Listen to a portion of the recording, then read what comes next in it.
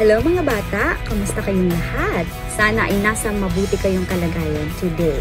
Ngayon ay Sunday, which means mag-aaral tayo ng mga salita ng Diyos galing sa Bible. Sa ating pagsisimula, simulan natin ng prayer song, inspiration at panalangin.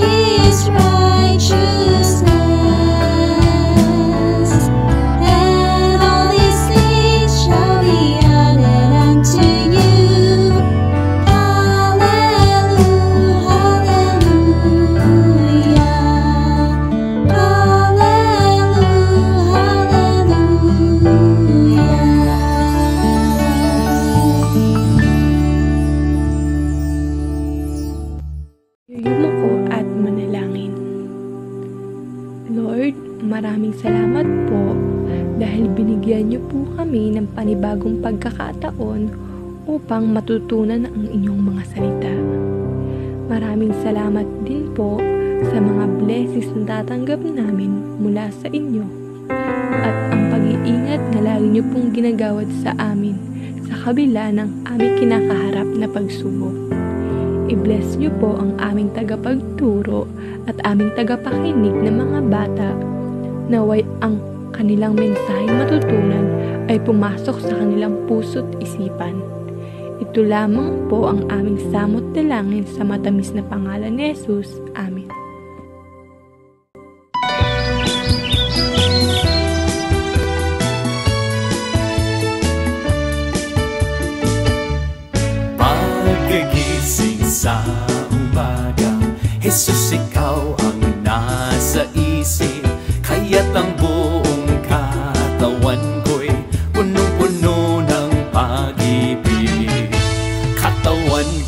Ko'y napapaindak Puso ko'y umaawit Ang mga kamay ay kumakaway Sa tugtuging makalangit. Baywang ko'y kumekembot Pa ako'y nagcha-cha-cha. Mga kamay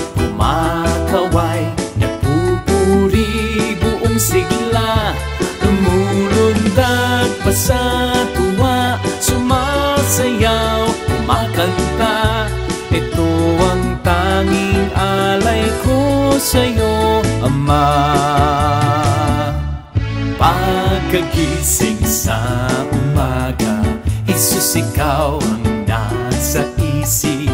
Kaya't ang buong katawan ko'y punong-puno ng pag-ibig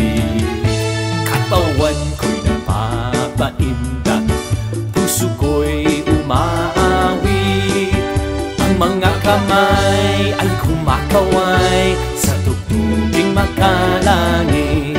Bewang ko'y kumikibot Pa ako'y nagcha-cha-cha Mga kamay kumakaway Nagpupuri buong sigla. Lumulundag pa sa tuwa Sumasayaw kumakanta. Ito ang tanging alay ko sa'yo. Jesus ang lahat sa buhay, kung kaya may saya. Si Jesus ang lahat sa buhay, kung kaya't may saya. Problema'y dumarating, ito'y kanyang lulutasin. Si Jesus ang lahat sa buhay, kung kaya't may saya.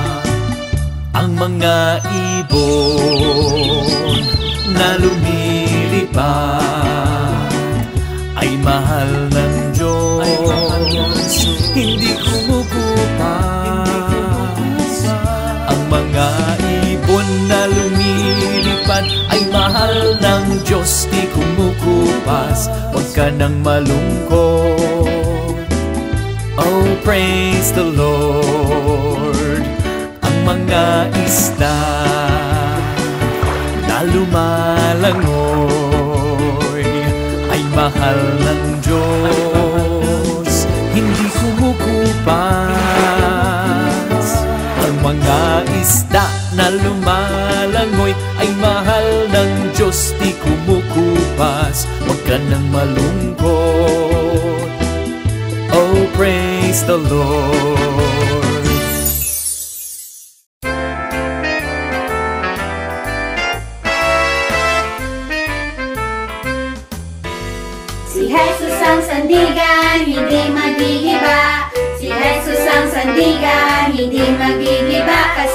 Dadah.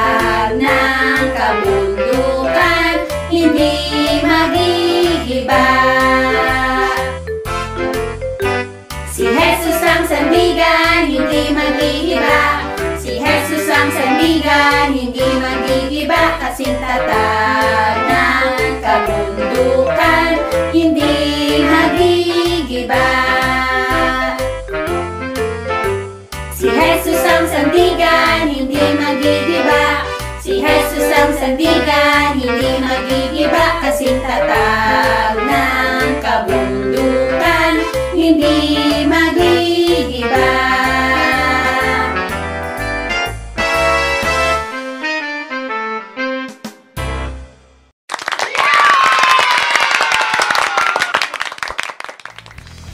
Wow! Ayan, ang galing niyo namang kumanta para sa ating Panginoon. Sigurado ako na na-bless kayo, na-bless si Lord sa inyong pagkanta para sa Kanya. Ngayon naman, pupunta na tayo sa most exciting part, ang storytelling.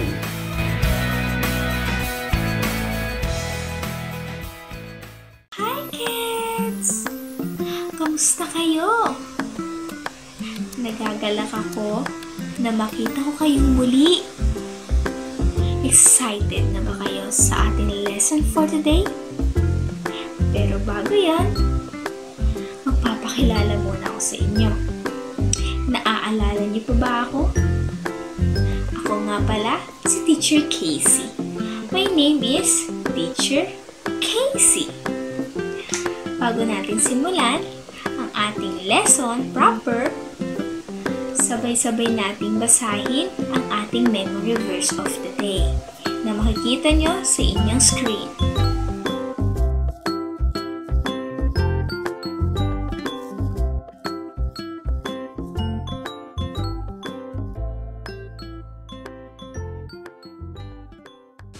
Magpo-proceed na tayo sa ating lesson proper. Excited na ba kayo? Kung excited na kayo, ako rin excited na. Kaya ihandain nyo ang mga puso at isipan upang makinig sa ating lesson. Ang title ng lesson natin for today ay Dinirinig ng Diyos ang ating pagdaing tuwing tayo'y nauuhaw at nagugutom matatagpuan sa Genesis chapter 21 verses 8 to 21. May isang matandang lalaki na nagngangalang Abraham. Siya ay kilala bilang Father of all Nations. Isang araw, namumroblema si Abraham dahil hindi sila magkaroon ni Sarah ng anak. Kaya't kinausap ni Sarah si Abraham at sinabi, Abraham, kausapin mo na lamang si Hagar na bigyan ka ng anak dahil hindi ko na mabibigay sa iyo dahil sa aking katandaan. Kaya't kinausap ni Abraham si Hagar at nagkaroon sila ng anak. Ang pangalan ng kanilang anak ay si Ishmael. Isang araw, kinausap ni Sarah si Abraham upang maghatid ng magandang balita. Balitang magbabago ng buhay ni Abraham at ni Sarah bilang mag-asawa. Ano kaya iyon? Excited na akong malaman. Kayo rin ba? Ito ang panalangin na matagal na nilang hiling sa Panginoon. Panalangin paulit-ulit nilang binabanggit sa Panginoon. Kaya't sabi ni Sarah, dininig na ng Diyos ang ating panalangin. Tayo ay magkakaroon na ng anak. Hindi maitago ni Abraham ang tuwa dahil hindi sila makapaniwala at dininig na ng Diyos ang kanilang panalangin. Kaya't nananangin sila at nagpasalamat sa Diyos sa biyayang bigay nito sa kanila. At ayun na nga, nagkaroon sila ng anak na nagngangalang Isaac, isang mabait at matalinong bata.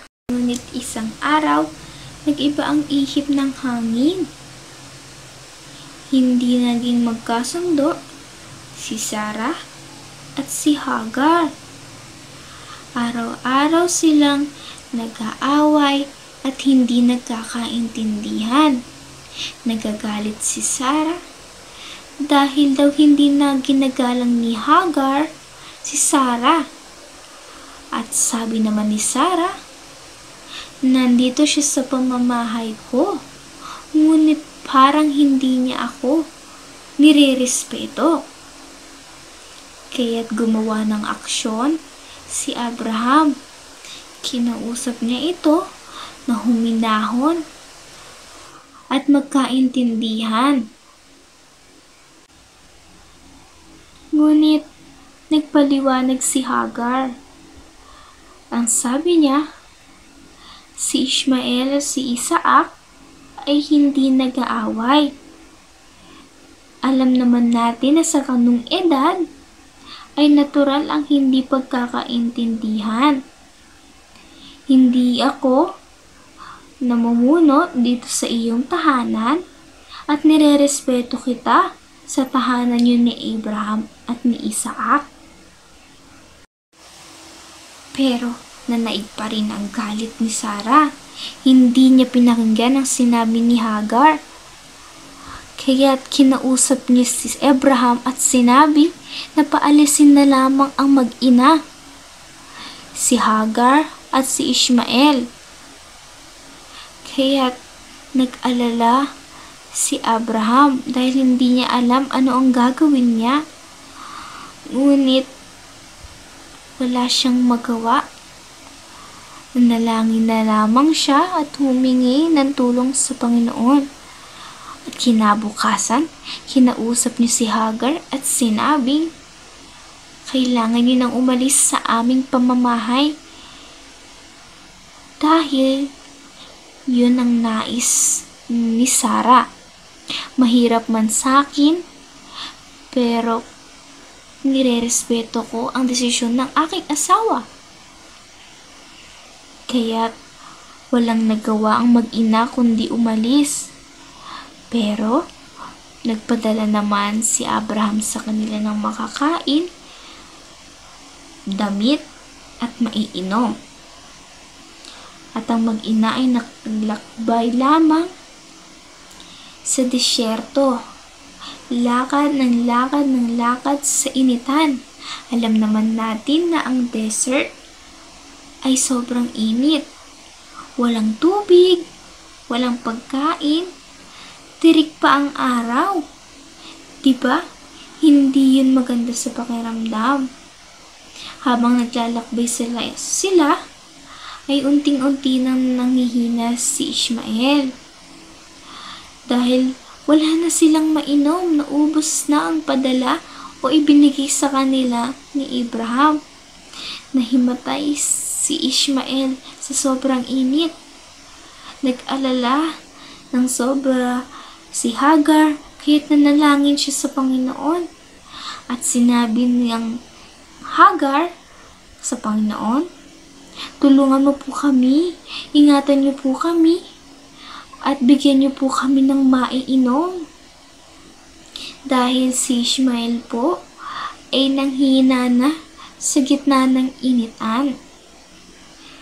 At hindi sila pinabayaan ng Diyos.